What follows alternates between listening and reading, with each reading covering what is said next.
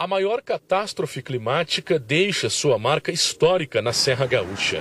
Deslizamentos, cheias de rios, alagamentos e muita destruição. Depois de cinco dias de operações, o Corpo de Bombeiros de Caxias do Sul confirmou que mais de 2.300 pessoas foram resgatadas. Nós não estamos falando de pouca coisa. Infelizmente, nós estamos vivendo a história. Negativa ou positiva, todos nós aqui estamos vivendo a história.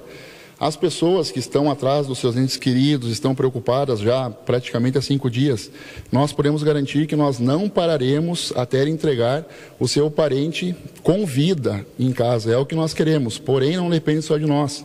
É uma situação que fugiu da normalidade. Em pontos do interior da cidade de Bento Gonçalves, foram mais de 1.400 vítimas retiradas de regiões de risco.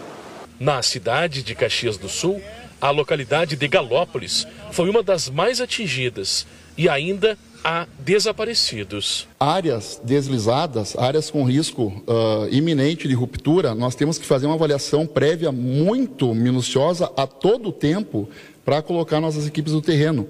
Não é chegar, colocar o maquinário, colocar a pá, uh, cavar. Nós temos que fazer uma avaliação muito minuciosa para não nos tornarmos outras vítimas. A Cruz Vermelha de Caxias do Sul também tem atuado no suporte. Nossas equipes estão trabalhando diuturnamente, junto com os bombeiros, com, com defesa civil, com todo mundo.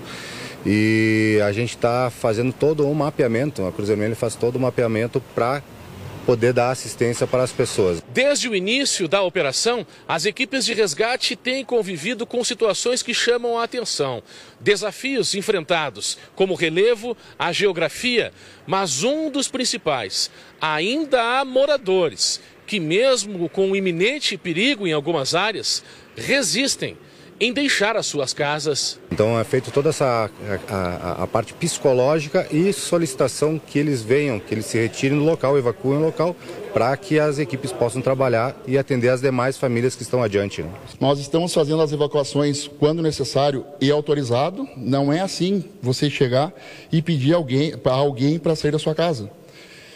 Eu nunca passei por isso e eu não sei o que eu faria. Eu indico a pessoa, saia, você está em risco se a pessoa quiser ficar na casa dela, eu não tenho o que fazer. Infelizmente, eu não tenho o que fazer. Bombeiros da Bahia, Minas Gerais e Rio de Janeiro também auxiliam nas operações pela terra e pelo ar. Na Serra, são mais de 30 mortes confirmadas de vítimas de soterramento.